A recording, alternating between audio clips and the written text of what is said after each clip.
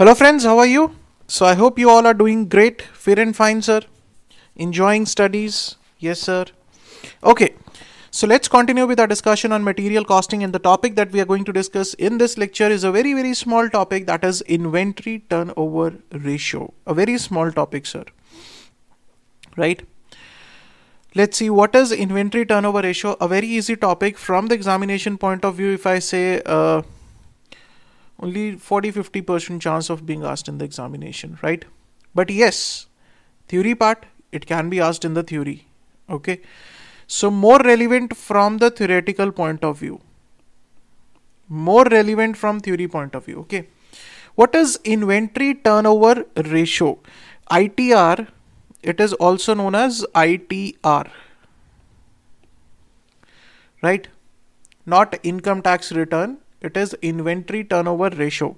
ITR is a ratio that shows as to how many times during the period, say a year, the inventory held got converted into consumption in case of raw material or cost or goods sold in case of finished goods. That means in a year, how many times, how many times in a year we are converting our raw material into finished goods and are we are converting our finished good into sales right? So this is the simple meaning of inventory turnover right? We are turning our inventory we are turning our raw material into finished goods and we are turning our finished goods into sales. How many times in a year that is shown by the inventory turnover ratio Higher the ITR, the faster the movement of inventory from store or warehouse. Lower the ITR, lower is the movement of inventory. Sir, very simple logic. Uh, sorry. Higher the ITR means the item is quite fast moving. You are uh, quickly converting your raw material into finished goods and finished goods into sales. Lower the ITR, lower the ITR means these are slow moving items you take much longer time to convert your raw material into finished goods and finished goods into sales. Right? So these are the two formulas. Itr for raw material is to be calculated as raw material consumed. How much of the raw material we have consumed in making finished good? Divided by on an average how much of the raw material we are holding. This shows the number of times we are converting this average stock of raw material into finished goods. We are converting it into consumption.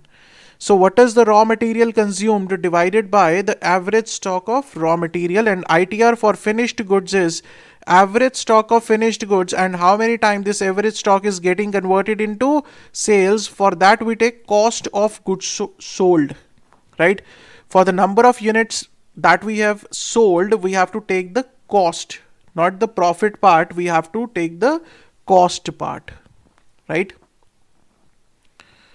Clear? Some related formulas for ITR. It says the raw material consume. How to calculate this raw material consume? Very simple, sir. What is the opening stock? plus raw material purchased minus the closing stock of RM. Sir, very simple. Uh, you have been learning trading account, sir trading account? Yes sir. Remember the trading account? Here we take opening stock. Correct sir. Here we take purchases. Correct sir. Right. Here we take sales. Correct sir. And here we take closing stock. Right. I can say sales or consumption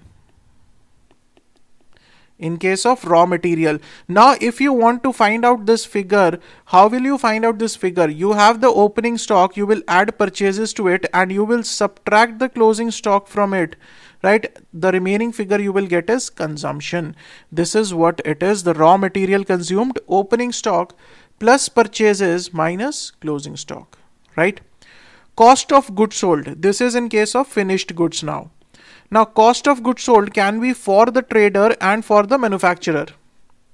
If it is for the trader, you have to calculate as opening stock plus purchases plus any direct expenses. Again, come to this point. Here we add the direct expenses also. Direct expenses are also taken in the trading account, right? Plus direct expenses minus closing stock. You will get the cost of goods sold. For the manufacturer, opening stock of finished goods plus the current year cost of goods produced, whatever goods it has produced, the current year cost of that minus the closing stock will give you the cost of goods which have been sold during the current year. Right? Opening stock plus current year production minus closing stock will give you the sales value. Right? Uh, the cost of the goods sold during the year. What is average stocks are very simple opening stock plus closing stock divided by 2 nothing much in it right so this is about uh, one inventory holding period. It is the average period for which the inventory is held in store or godown, right? For on an average, how many days you are holding the inventory in your store for the raw material in your godown for the finished goods. So inventory holding period is 360 days or 12 months divided by the inventory turnover ratio. How many times you are converting it? Clear? So this is your inventory holding period for how many days you are holding it. You are holding your inventory, you are storing your inventory 360 days or 12 months. See, uh, just remember one thing in the examination regarding this 360 days or the 12 months. If the question says here, uh, let's say about the days, if the question says you have to take 365 days in a year, right? If the question says you have to take 365 days in a year then you have to take 365 here not 360 right? So you need to be careful with this thing otherwise you may lose out on the marks if the question doesn't specify anything that you can take 360 also you can take 365 also. No issues in that. But if the question is specifying the number of days or months months will be 12 always. It is about the days. If the question is specifically uh, saying that you have to take 360 or 365 days you have to take as per the question then. Right? So this is the inventory holding period. Right sir? Done sir. So this is all about the inventory turnover ratio we have two practical problems let's see question number 15 The following data is available in respect of material X for the year ended 31st of March 1997. Opening stock is given 90,000, purchases during the year is 2,70,000, closing uh, stock is 1,10,000. You are required to calculate the inventory turnover ratio and the number of days for which the average inventory is held. Very simple, sir. Very simple. Okay. Let's do it. Question number 15. So first you need to calculate the ITR. First you need to calculate the inventory. Okay, I'll write ITR only. Uh, first you have to calculate ITR, right? What is ITR? ITR is raw material consumed. Raw material consumed divided by average stock average stock of raw material. Now you have to calculate these two figures first right? So first you will be calculating first you will be calculating rm consumption rm consumed. How you will calculate rm consumed? Sir very simple. Opening stock plus purchases minus closing stock right? Opening stock is given to us 90000 purchases 2 lakh 70000 and 1 lakh 10000 as the closing stock. So 90000 plus 2 lakh 70000 right minus 1 lakh 10000 now this is how much? 2 lakh 50000 now second thing that you have to uh, calculate is the average stock of raw material. Average stock of raw material. Average stock of raw material is sirs very simple. Opening stock plus closing stock divided by 2 right?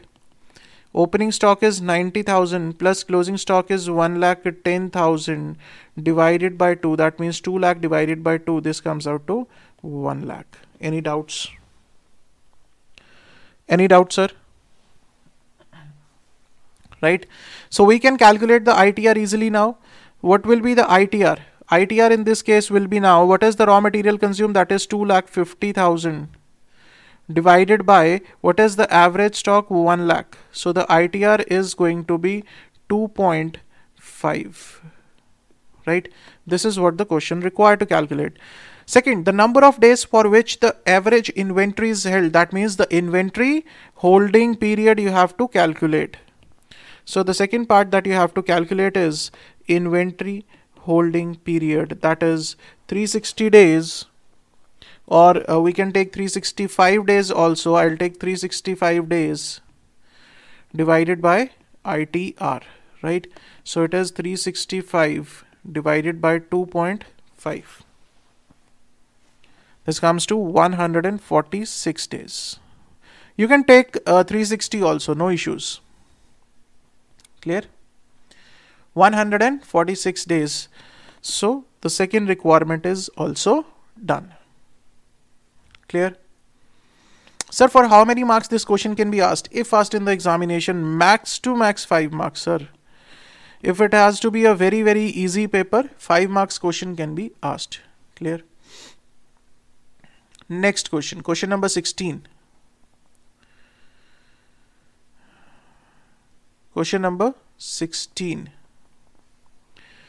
calculate the material turnover ratio for the year 1999 from the following detail. Okay, sir. Material X, material Y, opening stock, closing stock, and purchases determine the fast moving material. He says determine the fast moving material. Sir, ITR, we have to calculate the ITR, and from the ITR, we can determine which is the fast moving material, right? How we can determine the fast moving material? Sir, material having the higher ITR will be fast moving. Write it down. Material having higher ITR will be a fast moving material will be a fast moving material.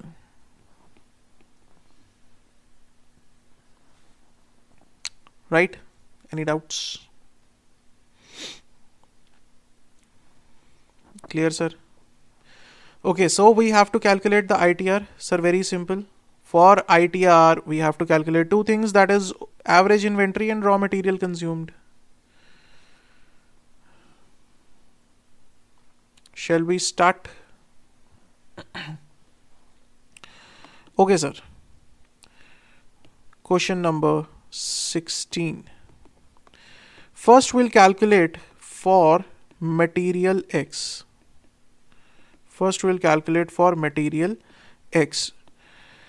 Okay, for material X, we have to calculate first RM consumed. RM consumed. RM consumed is opening stock plus purchases minus closing stock. Right? Always remember this thing. Always remember this thing. From here, it will be absolutely clear that how to calculate the consumption or cost of goods sold, right? So what is the opening stock in case of material X? It is 25,000, closing stock is 15,000 and purchases is 1 lakh 90,000. So we can write it as 25,000 plus 1 lakh 90,000 minus closing stock of 15,000. That means we have the raw material consumption of 2 lakh rupees. Right. Second thing we have to calculate is average inventory average inventory. So what is average inventory is opening stock plus closing stock divided by 2. What is the opening stock here? That is 25,000 plus 15,000 is the closing stock divided by 2. That comes to 20,000. Right? So with these two things, we can calculate now the ITR, ITR, sorry, ITR for material X. That is raw material consumption 2 lakh divided by average inventory that is 20,000. So the ITR is 10 times. Any doubts in this? Clear? Okay, moving on. Material Y. Now we'll calculate for material Y also. For material Y, first we'll calculate RM consumed, RM consumption, RM consumption. So I'll take opening stock. What is opening stock in this case? 87,500 plus purchases that is 1,25,000 minus 62,500, right? So 87,500 plus 1 lakh 25,000 minus 62,500 right? So this comes to 1 lakh 50,000 second we have to take is average raw material. Average stock of raw material. That is opening 87,500 plus closing. That is 62,500 divided by 2 so this will come to 75,000 right? Now the ITR ITR it is 1,50,000 divided by 75,000 that is 2 times. Right? Now the question is asking determine the fast moving material. That means we have to give this uh, this in the last we have to give the final answer that which is the fast moving material right? So we'll say material x material x is fast moving is fast moving material because it has higher ITR. Clear? That means we converted material X into finished good 10 times, whereas we converted material Y into finished goods only 2 times. So material X is fast moving and material Y is slow moving material. Clear? So with this, we are done with question number 16 also. Now what we are left in the material costing is question number 17 and question number 18. That means we are left with just one topic. In the next lecture, we'll discuss about that topic that is valuation of valuation of closing inventory. Easy topic you will have some rough idea about it. Valuation of closing inventory very easy topic right? And very practical topic actually. Uh, practical topic i mean to say that we will have to do the practical problems on it to understand this topic right? There is no logic or i can say lot of things to understand in this topic. The only thing is to solve the questions two questions. Absolutely everything will be clear for you people right? So see you guys in the next lecture. Till then stay safe stay healthy. Thank you so much